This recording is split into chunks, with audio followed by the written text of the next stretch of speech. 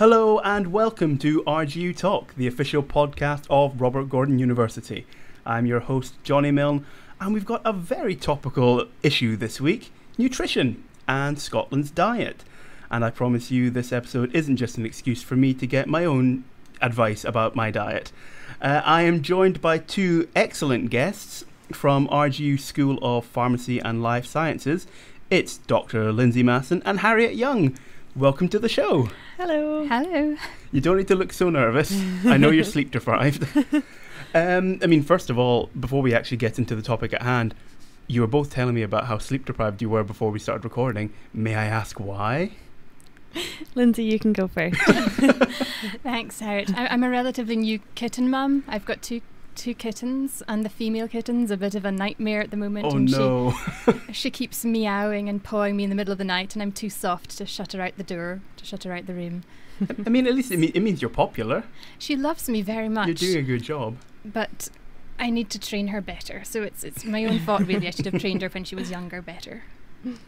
And Harriet, Um, I'm having what some people might say is a mid midlife crisis, and I have just recently bought a van to convert into a camper van. So I was down in the south of England buying a van yesterday, and I Wow. drove it up to Aberdeen this morning. that is. I mean, I've known you pretty much our entire lives, and that is that is impressive. okay, well, on to the actual topic at hand. Um, for those people who might think of the name, you know, School of Pharmacy and Life Sciences, and think that's pretty broad sounding, what exactly are your areas of expertise at the university? Well, I am the course leader for the BSc in Food Nutrition and Human Health, which is a, a, a new course. We are phasing out our BSc Nutrition, which is still in existence at the moment, and we're phasing in the BSc Food Nutrition and Human Health. So I'm a lecturer in nutrition and a, a registered nutritionist as well, as is Harriet. And apart from the nutrition courses, the School of Pharmacy and Life Sciences also has courses in well, pharmacy, obviously, but also forensic and analytical science, biomedical science, applied bioscience. Mm-hmm. So that comes under the life sciences umbrella. Okay. And Harriet, you're obviously nutrition as well. Is there Mhm. anything um, particular that you do at the university that you would want to mention? Um, I say I just support the uh, the nutrition and the, the new now food nutrition and human health course. I'm also one of the registered nutritionists um, on the team, and um, I take a lot as well of the outreach and the recruitment of the course. I play a sort of a role in that as well. Okay. Well, Lindsey, you've been all over the news in recent weeks, from the BBC to the and STV to the Galloway Gazette and all manner of regional newspapers because of a new study you conducted into Scotland's diet. So, can you tell us more um, about the study? You know how it came about and what exactly was involved. Sure, this was a study funded by Food Standards Scotland, and its main purpose was to monitor progress of the Scottish population to meeting the Scottish dietary goals. And the Scottish dietary goals, there are a set of goals that include uh, both foods and nutrients for the Scottish population to achieve, which would hopefully reduce the burden, the burden of obesity, heart disease, cancer, um, and ill health. So the study involved essentially secondary analysis of data from the Living Costs and Food Survey, which is a national survey, and every year people are asked to keep a record of everything that they purchase. And we were particularly interested in the Scottish data, and because it's looking at purchase data, we need to make adjustments for waste because not everything that's bought is eaten. Of course, yeah. Uh, and we essentially looked to see what the average intake was in the Scottish population and we compared that with the Scottish dietary goals. We have similar data for the last 15 years, for actually from 2001 to 2015. So we could look and see whether the diet has changed overall. And we could also see whether there are certain pockets of the population that have a poorer diet than others. So perhaps whether those in more deprived areas have a, a different diet from those in least deprived areas. And um, how did the study came about? Because I understand you worked with um, a number of partners during this. Yes, so I worked with Karen Barton at the University of Abertay and Wendy Wrieden at the University of Newcastle, and we also had advisors from Dundee University, Glasgow University, and Glasgow Caledonian University. And my colleagues at Newcastle and Abertay, they have been involved with this analysis for several years. So this was actually an extension to the work that they had previously done. And I have previously uh, been principal investigator for Food Standards Scotland's funded survey of diet in children in Scotland. So my expertise fitted in well with with their expertise in terms of monitoring the Scottish diet. Fantastic. And uh, I mean, comparing the Scottish diet with the dietary goals, what were the main findings you found? Well, essentially, the Scottish diet is it's it's not great. It's tell, tell us something we don't know. it's not it's it's not great. Oh, We all know this, but we really need to improve our diet. Mhm. So the Scottish population, we are not meeting recommendations for total fat, for saturated fat, for free sugars. These are the added sugars that we find in confectionery, biscuits, cakes, pastries, sugary drinks. We're not meeting recommendations for fibre. Our fibre intake is really low, and this is really important for, for bowel health and preventing colorectal cancer, for instance. And we're also not meeting the food based recommendations for oily fish and for fruit and vegetables.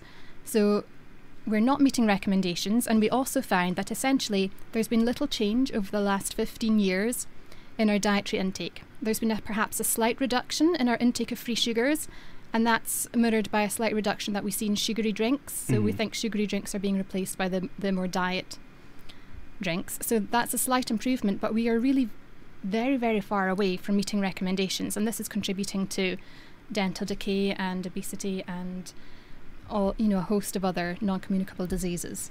I mean, I, I, when I read the study and saw the fact, as you've just said, there's been little change over 15 years, Mhm. I was, despite being a larger gentleman myself, I was completely taken aback. But, I mean, is it something you were surprised by? And Harriet, when you were made aware of it all, does it surprise you with the work you do? Um, yes and no. It, it is it is surprising statistics, but it is something that we do know. Um, I think part of it is it's it's not so much. I think we're doing a lot of work on education and educating people, and people know this. People know that they need to eat less sugar. People know that they need to have oily fish. People know the five a day message. Everyone can tell you that, but it's about putting it into practice. Um, and it's translating the knowledge and awareness into behavioural change, I think, is, is one of the issues. Another area which I'm, I've been doing a little bit of work with with my teaching is looking at the food and drink industry as well. And I think there is a lot to consider with the food and drink environment in which consumers make their food choices now, you know, in- including where consumers shop, where they eat out of the home. And I think that might be sort of a step a step forward into improving the Scottish diet there, there's been some positive response with um, reformulation. For example, the salt reduction um, has has proven some successes in terms of reducing the, the salt intake of, of the population.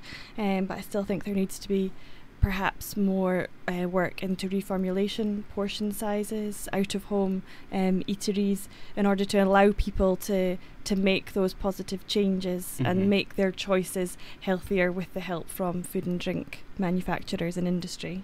Uh, well, obviously, you know, the government and various organisations like Food Standard Scotland have spent years running campaigns about Mhm. healthy eating, as you say, you know, the five a day and so on. We all know these things.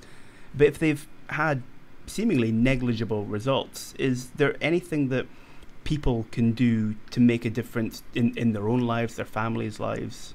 Can I just give a bit, a bit of history, first of all, to the Scottish Dietary Goals? They actually started out their life as the Scottish Dietary Targets. They were published in 1996 as part of the Scottish Diet Action Plan, originally intended to be achieved by 2005. Oh, gosh. The okay. timeline was then extended to 2010, okay, and our, our data goes up to 2015. Mhm.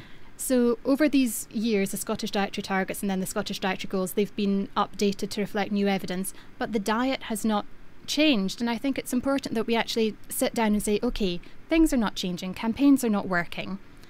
Why are we not translating this knowledge and awareness into behaviour change? Because we all know what. Well, what's the recommendation, Johnny, for fruit and vegetable intake? Uh, five a day. See, we know Yeah. this. Do you eat five portions of fruit and vegetables a day? Now, I'm going to be honest and say, for a while I did. Um, but you just need to look at me to go, it didn't stick. But you see, this is what we need to understand. Why Mhm. are we not translating this knowledge into behaviour change? Yeah. Why can't we do that? This is where we need more research. Um, well, Harriet, I know Mhm. you do a lot of out- outreach work uh, with schools in the northeast. Um, Mhm. what first of all, what does that involve? So, as, as part of sort of um, RGU's outreach sort of program, we've been involved with um, a number of events at local primary schools, certainly over the last year in, in particular, to promote sort of nutrition and healthy eating. And these usually tend to feed into healthy eating weeks that the schools themselves are running. So you can already tell the sort of shift that the schools are doing in order to promote healthy eating. Um, in terms of what we do there, um, they're always really, really good fun events. Um, they usually involve some form of practical activities around food, such as guess the sugar in the drink game, um, making healthy ladybird pizzas, um, or a popular favourite is the smoothie bike. Where the um, children have to pedal a bike that's attached to a blender in order to make a delicious smoothie. Um, the only caveat with that is I make sure there's some form of vegetable in that smoothie, which doesn't always get initially a great reception. Um, but once they um, get absorbed into the fun and they're pedaling and they actually get a chance to make this smoothie, um, they soon forget it's in there. They're all drinking it, they're all um, enjoying it, and they come up and tell me, I actually love that spinach in that smoothie. I want to make this at home. You know, and it, it's just about getting them acknowledging different nutrients, what how, how different nutrients do in the body. Um, and I've generally been actually really impressed. And I think going back to what Lindsey said, if I ask them, okay, so how many pieces of fruit and vegetables should we have? They all say five. They all know Mhm. um, what it is that they that they need to have, and you know it's there's still work to be done with children's understanding, and it's not been unheard that um, a children ask me, "Oh, isn't milk comes from chickens, isn't it?"